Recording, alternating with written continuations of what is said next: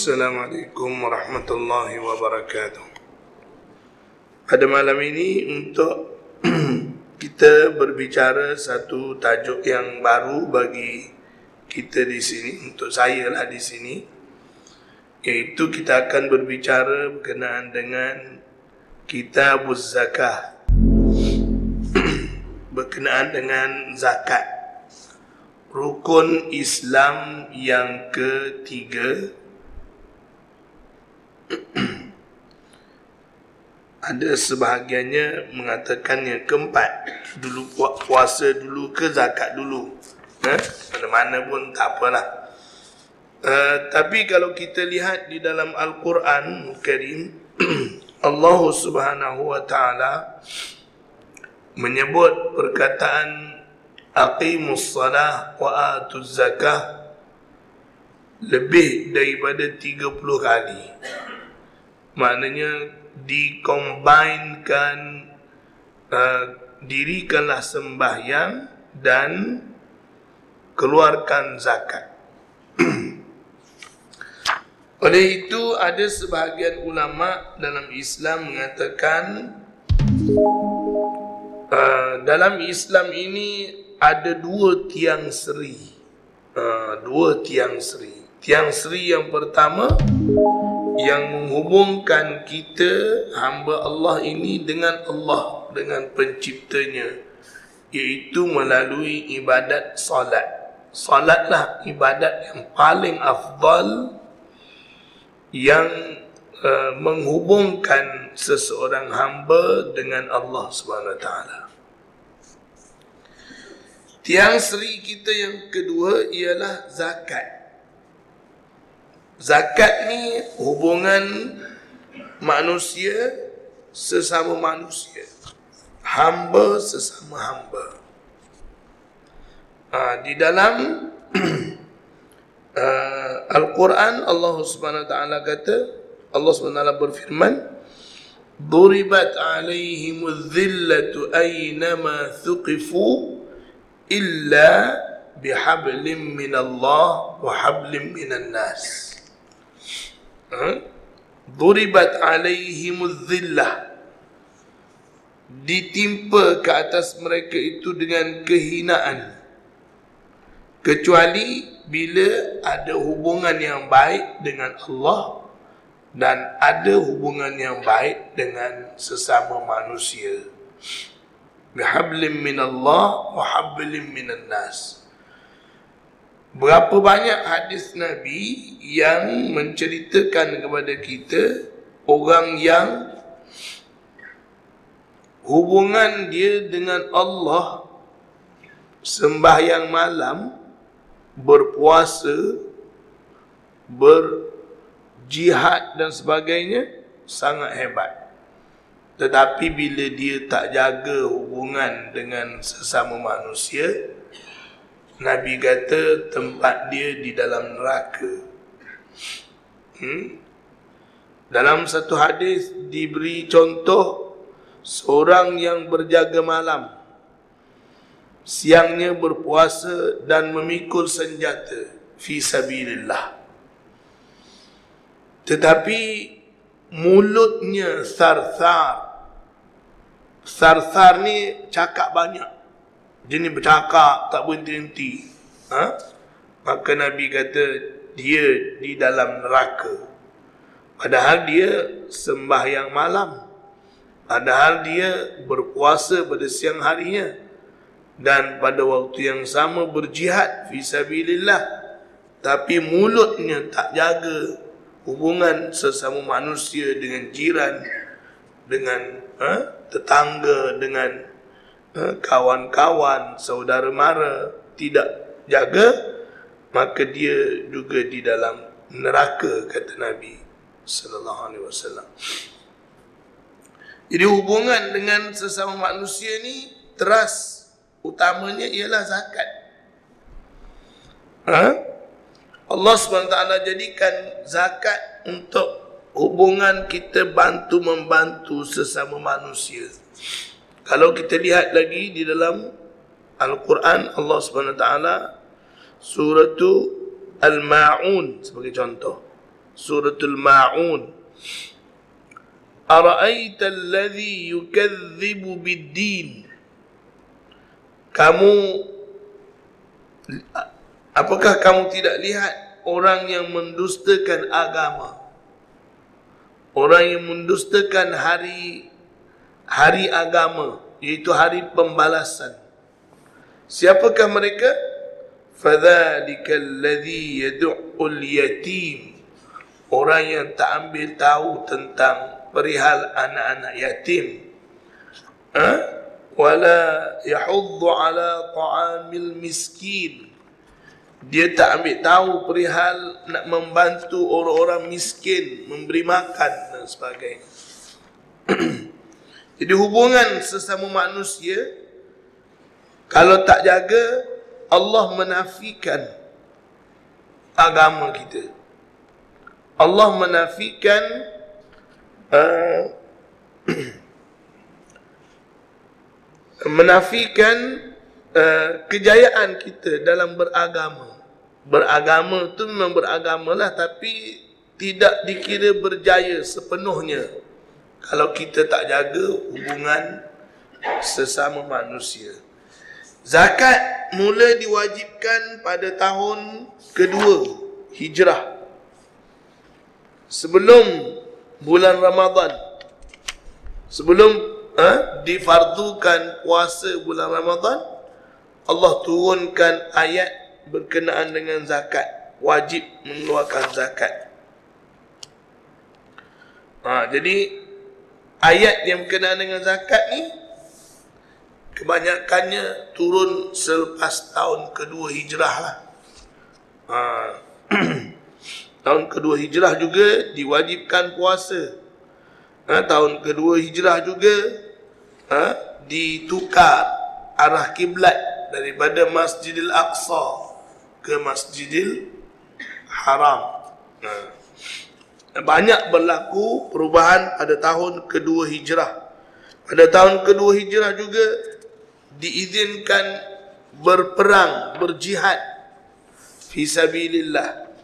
Ha? pada tahun kedua hijrah. Ha? banyak uh, hukum-hukum baru berlaku pada tahun kedua hijrah.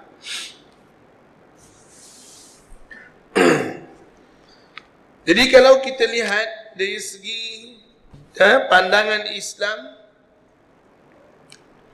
eh, kata Abu Syuja hmm, kita tengok pandangan Abu Syuja. Siapakah Abu Syuja ni tuan-tuan? Abu Syuja ni ialah uh, salah seorang ulama fiqah dalam mazhab syafi'i yang menak mengarang satu kitab uh, berkenaan satu matan uh, matan fiqah ha? Ha, dan kemudiannya disyarah oleh berpuluh-puluh orang ulama maknanya di antara yang mendapat tempat di dalam masyarakat Islam ialah uh, matan fiqah Abu Syuja ha? ha, di antaranya syarah yang paling ringkas mungkin Fathul Qarib ha? yang bagi setengah negeri dijadikan silibus Fathul Qarib juga syarah kepada matan fiqah Abu Syuja. Ha, di antaranya juga yang kitab yang agak besar syarah kepada matan Abu Syuja ni ialah Al-Mughnil Mughnil Muhtaj yang ditulis oleh Khatib Syarbini yang ada 7-8 jilid jugalah. Ha? Ha, dan yang saya nak jadikan panduan kita bersama ialah kitab Uh, Kifayatul Akhyar yang ditulis oleh ulama daripada Iran ha? uh, juga syarah kepada matan Abu Syuja ha? jadi matan Abu Syuja ni banyak kalau kita tengok dalam pasaran berpuluh-puluh kitab syarah kepada matan Abu Syuja dia ditulis sekitar tahun 400 hijrah. Ha, sekitar tahun 400 hijrah. Maknanya kurun kelima. Ha, di antaranya lah. Uh, jadi kita cuba tengok apa kata Abu Syuja berkenaan dengan zakat ni. Dan kita tengok apa pandangan para ulama lain berkenaan dengan pandangan beliau. Taj Tajibuz zakatu fi khamsati asya Al-mawashi wal-athmani Wal-zuru'i wal-thimari Wa urudi tijara. Ah, wajib Membayar zakat ni Lima perkara. Lima harta yang kita wajib ha? Bayar zakat.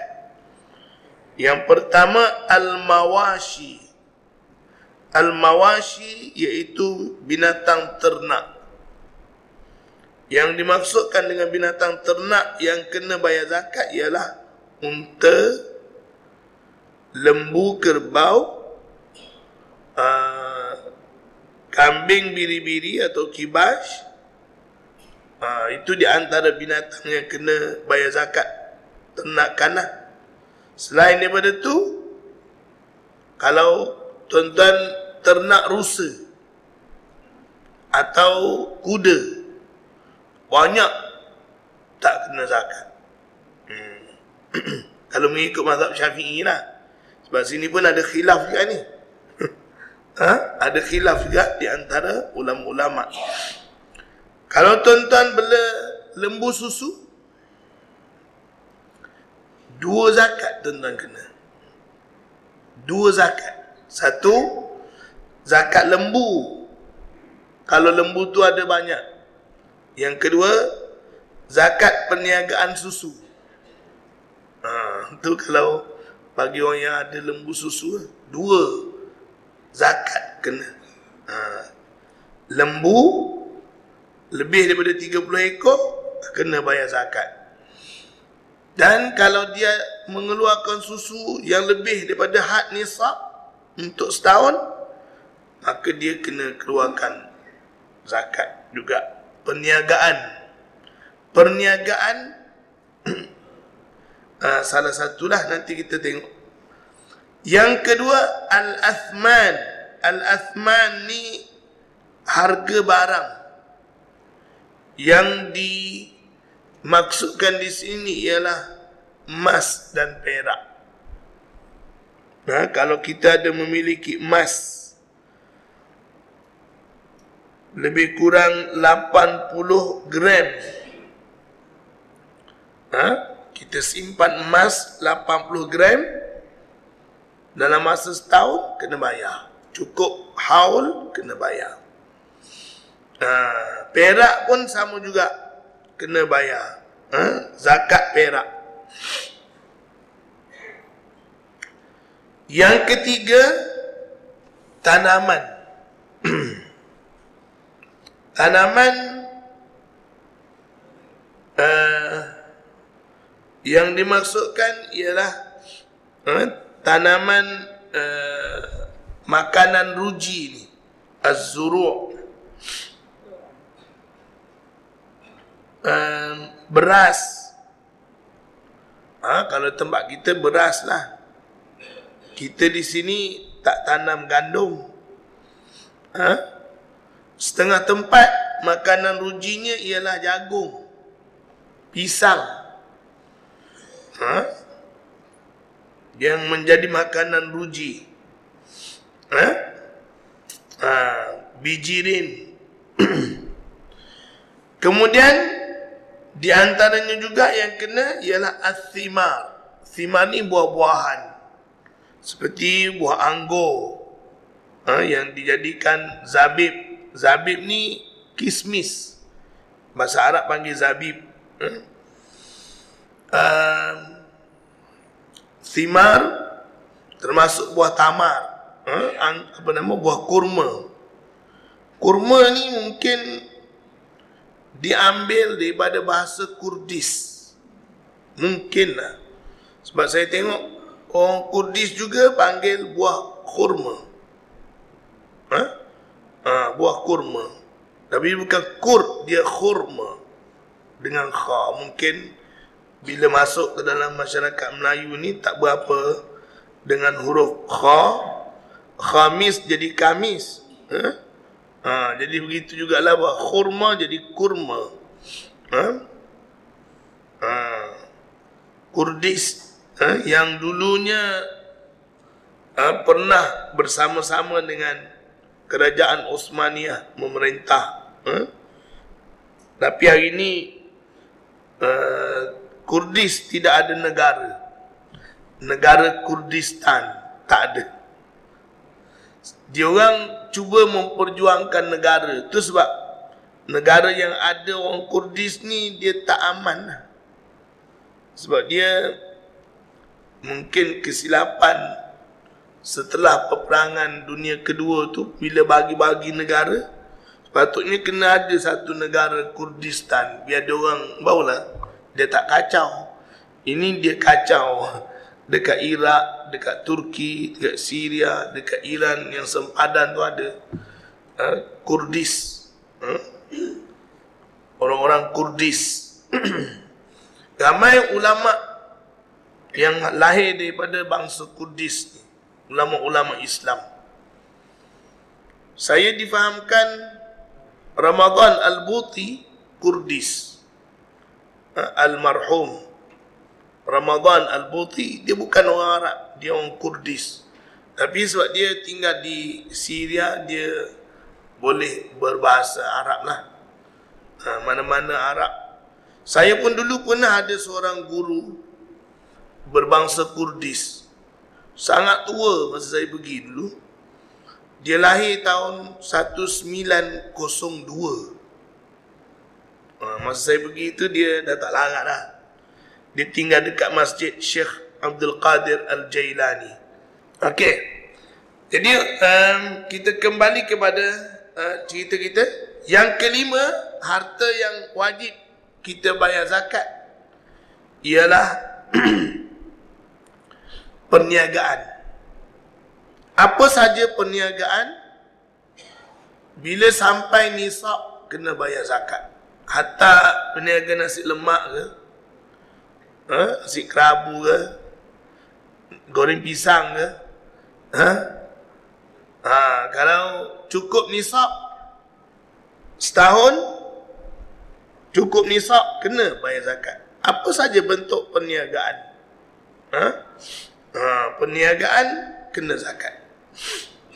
Kalau mengikut mazhab syafi'i, gaji tak kena zakat. Kalau mengikut mazhab syafi'i lah. Ha, begitu juga duit ha, kita dapat sumbangan duit jumlah yang banyak kalau mengikut mazhab syafi'i tak kena zakat. Walaupun ada dalam mazhab lain kena zakat. Mazhab syafi'i dia kena tunggu setahun dulu baru kena zakat. Ha. bila kita dapat katakanlah sejumlah duit seratus ribu. Ha? kalau mengikut mazhab lain ada yang dapat je dia kena keluar zakat ha, sebab dapat banyak terus kan. Tapi ada setengah mengikut mazhab syafi'i tak kena. Kena tunggu dulu cukup haul setahun ha, lepas tu kena zakat. Ha, duit simpanan. Harta yang kita simpan ha? Ha, harta yang disimpan ni dia nilai dia kepada emas lah ha? Ha, pertanian pertanian dia tak perlu ada haul. Ha? Dia hari menuai, hari tu kena bayar zakat. Ha? Jadi bila zakat gaji ni dikenakan, gaji dikenakan zakat, uh, dia nak dikiaskan kepada uh, per, apa nama pertanian ke nak kias kepada perniagaan. Ha, tu satu ha? mana cara nak keluarkan zakat tu.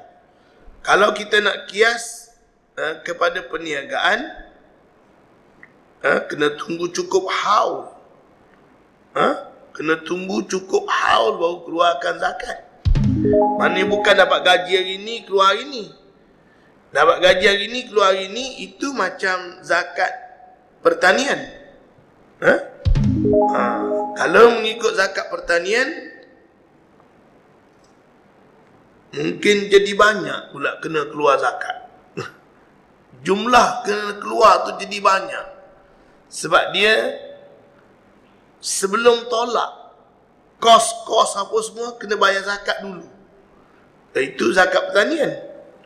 Ha, bukan kata kena tolak kos makan anak apa semua ini baru bayar zakat. Ha, itu macam zakat uh, perniagaan. Ha? Ha, jadi ada sikit nak nak keluarkan zakat tu mengikut kaedah zakat apa bila kita kata gaji tu wajib zakat. Kalau dikirakan mengikut perniagaan gaji bulan satu tahun ni keluar bulan satu tahun depan. Nak cukup haul. Ha? jadi ada banyak perbincangan jugalah di kalangan uh, para sarjana Islam. Hari ini mereka membincangkan kaedah-kaedah yang baru. Ha? sebab ada banyak income pendapatan yang dulunya tak ada hari ini ada. Ha, cara dulu zaman Nabi mana ada orang kerja makan gaji? Ha, sekarang ada orang makan gaji. Jadi macam mana cara mengeluarkan zakat? Ha. jadi hadirin dirahmati Allah subhanahu wa ta'ala. Uh, kalau kita tengok orang yang berniaga ni tuan-tuan walaupun kita kata berniaga kecil-kecilan jual pisang goreng jual nasi lemak nasi untuk sarapan. Sehari lima enam ratus. Pendapatan dia sebulan berapa? Setahun berapa? Itu memang kena zakat tu paling kan kena zakat. Ha? Ha, sebab zakat ni tak banyak mana pun kalau ikut kan. Nisab dia. Ha? Okey tuan-tuan, kita cuba tengok apa yang dimaksudkan uh, ataupun galakan kelebihan uh, orang-orang yang mengeluarkan zakat. Kenapa Allah Subhanahu Wa Taala menggalakkan kita keluarkan zakat? Zakat kalau kita tengok dari segi makna perkataan zakat itu para ulama ada memberi makna yang macam-macam lah ha? zakat zakatun ada dengan makna subuh ha? harta yang kita keluarkan zakat mudah-mudahan dia menjadi subur dengan makna an-numu an-numu subur. Ada yang mengatakan zakat makna bersih. Sebagaimana yang Allah SWT sebut. Qad aflaha man zakkaha. Ha? Dan begitu juga Allah SWT sebut. Khudh min amwalihim sadaqatan tutahhiruhum wa tuzakkihim biha. Ha? ha, wa tuzakkihim biha maknanya zakat tu dikenakan uh, untuk membersihkan harta dan juga diri jiwa manusia yang mengeluarkan zakat. Ha? maknanya hubungan kita bayar zakat ni bayar kepada sesama manusia. Tetapi Allah akan membersihkan jiwa kita bila kita mengeluarkan zakat.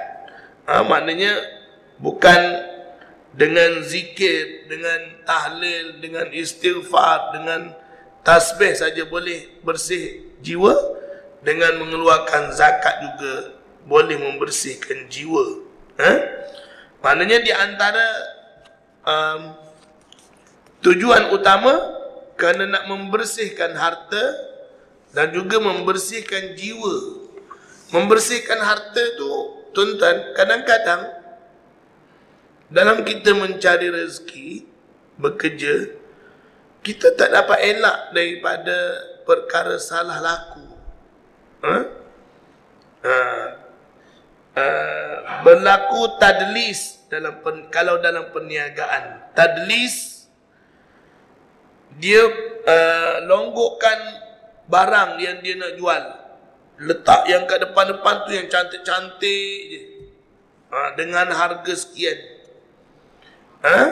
bila kita beli kita ingatkan yang cantik macam tu. Bila balik rumah lain. Ha, itu dah.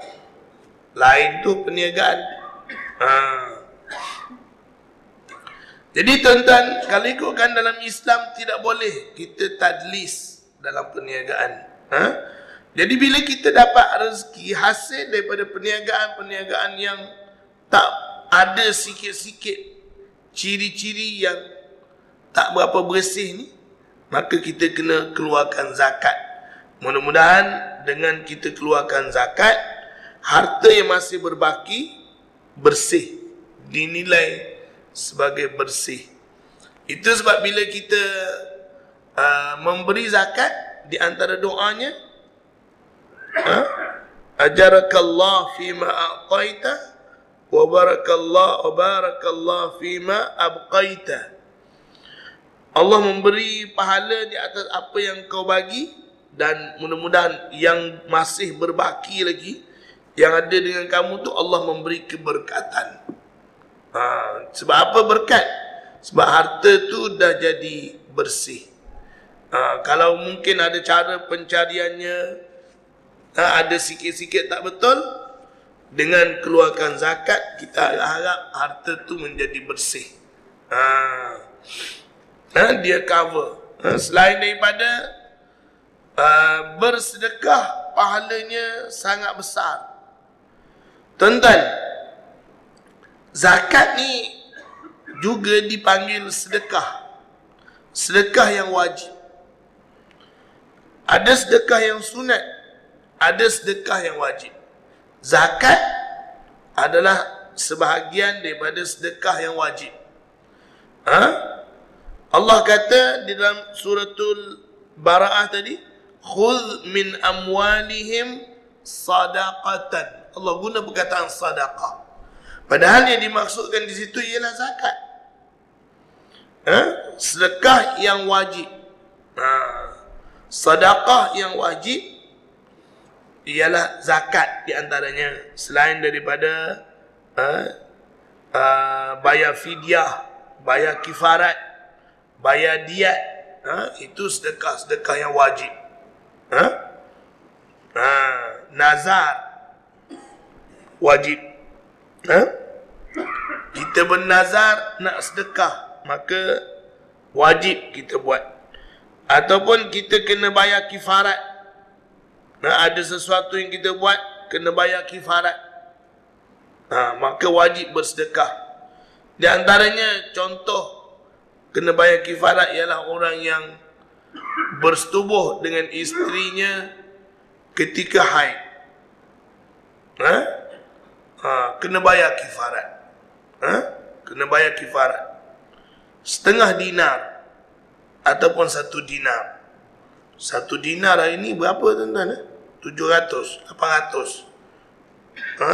Kalau setengah dinar, ha, itulah kena bayar. Kena bayar kifarat. Ataupun bayar fidyah kepada orang yang meninggalkan puasa kerana dia tak mampu dan sebagainya. Ha? Bayar fidyah.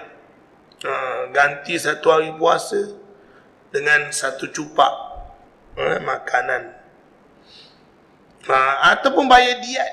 Diat ni bayar pampasan ataupun uh, bila seseorang itu terlibat membunuh ha, dengan sengaja dia membunuh ni dalam Islam ada tiga kategori.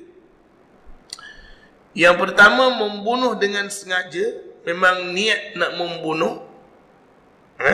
membunuh dengan niat Orang, orang sekarang kata. Yang kedua, dia membu, dia memukul dengan sengaja. Tak ada niat nak membunuh. Tetapi menyebabkan kematian. Ha? Dia pukul seseorang tu tak sengaja. Dia bukan niat nak bunuh. Memang dia niat nak pukul. Pukul-pukul, mati. Ha, menyebabkan kematian. Dan yang ketiga, dia tidak ada niat nak pukul pun. Lebih-lebih lagi nak membunuh lagi tak ada niat. Tetapi dia telah menyebabkan kematian. Ha, kan? Kalau sekarang ni banyaklah mungkin accident lah apalah macam-macam. Dulu dulu-dulu para ulama mengatakan orang yang dia bawa contoh lah naik pokok tak ada niat nak membunuh tapi dia jatuh timpa seorang ha, seseorang menyebabkan kematian memang dia tak ada niat nak pukul tak ada niat nak membunuh tapi telah menyebabkan kematian jadi kes-kes macam ni dia kena bayar diet. Dia kena bayar pampasan kepada keluarga. Dalam Islam tuan-tuan, hukum qisas boleh diganti dengan diet. Kalau kisah uh, kes bunuh lah, kes bunuh. Uh, pembunuhan sekiranya berlaku uh, hakim dia hanya boleh memutuskan memang betul tertuduh ni membunuh naik mahkamah minta saksi minta apa semua tu naik tu naik. Uh, sabitlah yang pembunuh ni tertuduh ni memang pembunuh. Tapi hakim tu tak boleh putuskan hukum. Dia kena panggil keluarga mangsa. Keluarga mangsa yang terbunuh tu siapa ketua keluarga dia akan dipanggil ke mahkamah diberi tiga pilihan. Eh, kalau mengikut Islam lah, diberi tiga pilihan. Yang pertama, bunuh balas. Dia panggil kisos. Ha, kalau nak pihak berkuasa bunuh balas, orang yang tertuduh tadi, yang telah sabit kes, uh, uh, salah kerana membunuh, dia akan dihukum bunuh. Ha? Atau ketua keluarga tadi boleh memaafkan secara uh, tanpa syarat. Maaf tanpa syarat. Bebaslah dia. Ha. Ha? Yang ketiga, dia boleh minta diat. Saya tak nak dia dibunuh, kisah dan tak nak juga dia di uh, dibebaskan secara tanpa syarat tapi saya nak pilih dia bayar diet. Diet ni tuan-tuan, dia kena bayar kepada keluarga mangsa. Ha? Katakanlah anak saya dibunuh. Wala'iyadbillah min zalik. Ha? Dibunuh, maka yang tertuduh tu dipanggil, di, di, apa? disiasat dan sebagainya. Sabitlah kesalahan dia membunuh. Maka saya boleh minta dia bayarkan diet kepada saya ha, membayar diet diet ni tuan-tuan 100 ekor unta atau nilai 100 ekor unta untuk kalau dia membunuh satu orang dia kena bayar kepada keluarga tu 100 ekor unta. 100 ekor unta ni tuan-tuan setengah juta. Lebih kurang lah setengah juta. Kalau kita kata satu ekor lima ribu ringgit. Kan? Seratus ekor setengah juta. Ha, tapi kalau ikutkan nilai sebenar mungkin lebih. Sebab dia ada spesifik. Ha? Unta 30 ekor. Unta yang berumur 3 tahun masuk 4 tahun. 30 ekor lagi unta berumur 4 tahun masuk 5 tahun. 40 ekor lagi unta betina yang sedang bunting. Dalam masa setahun dapat 40 ekor anak unta. Ha, jadi tuan-tuan, maknanya 100 ekor unta tu saya kira busuk-busuk mesti cecah setengah juta. Maknanya keluarga mangsa akan dapat bayar akan dapat pampasan setengah juta kalau ahli keluarganya dibunuh. Pampasan tu bukan bayar pada kerajaan. Bayar pada mangsa. Ha, bayar kepada mangsa. Hari ni kadang-kadang kita kena uh, bayar compound. Saya langgar kereta tuan-tuan. Ha, katakanlah saya dengan tuan Datuk Nazir kita accident. Saya langgar kereta dia. Pergi buat report. Saya kena bayar saman. Saya bersalah. Bayar 300 Bukan bayar pada Datuk. Datuk tak dapat apa pun. Bagi kereta je paling-paling kuat. Ha? Tak ada bayar pampasan kepada mangsa. Ha. Dalam Islam ada. Hadirin yang dirahmati Allah Subhanahu Taala. Jadi makna zakat itu salah satunya makna subur. Ha? Dalam bahasa Arab dia guna perkataan zakat zar'u ha, zakat az-zar'u makna ha, tanaman itu menjadi subur ha?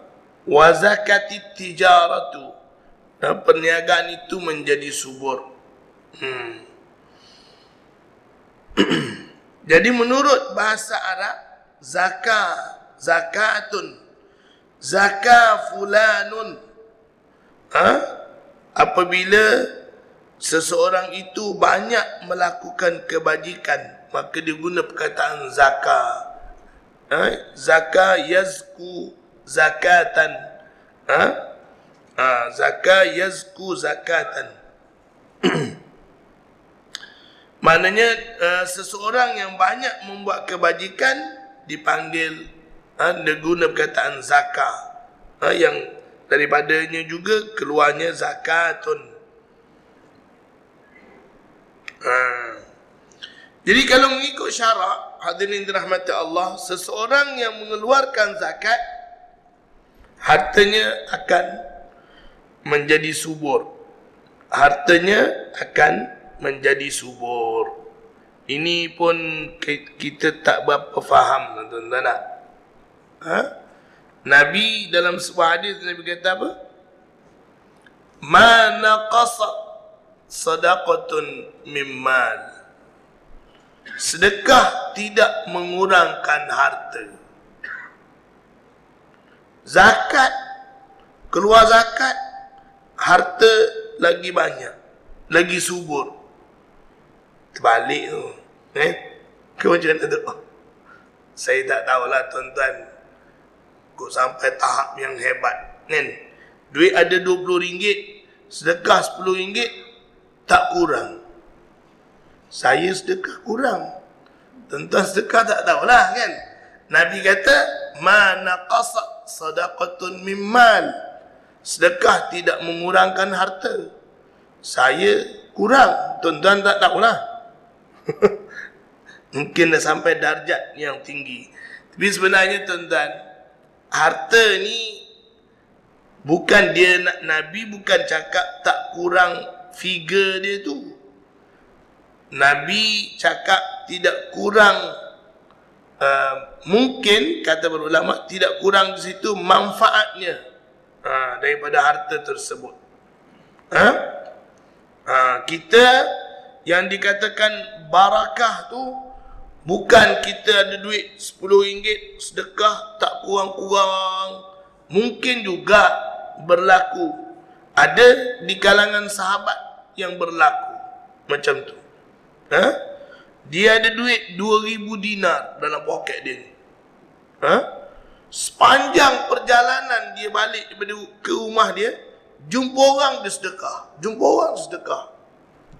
Balik-balik rumah tengok, eh tak kurang.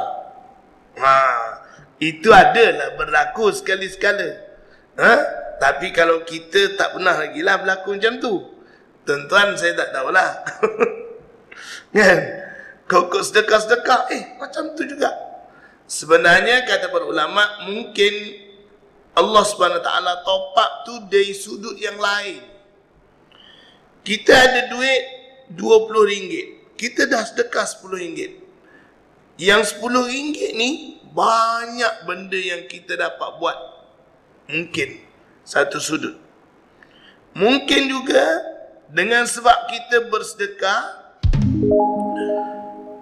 Allah sihatkan tubuh badan kita, anak isteri kita. Selalunya sebelum kita keluarkan zakat, sakit manjang keluarga kita. Bil hospital, klinik bukan main banyak. Tapi semenjak keluarkan zakat ni kurang sakit. Ha, itu berkat tu. Itu manfaat harta tu. Ha. Bukanlah kata bila sedekah tak kurang-kurang. Tidak. Dia tak kurang tu dari sudut yang lain. Ha? Allah SWT tambah manfaat kepada harta yang kita miliki. Ha? Ha. Yang Allah janji nak tambah secara material pun ada juga dalam Al-Quran. Ha, dalam Al-Quran Allah SWT kata wa ma anfaqtum min shay'in yukhlifu. Ha? Ha.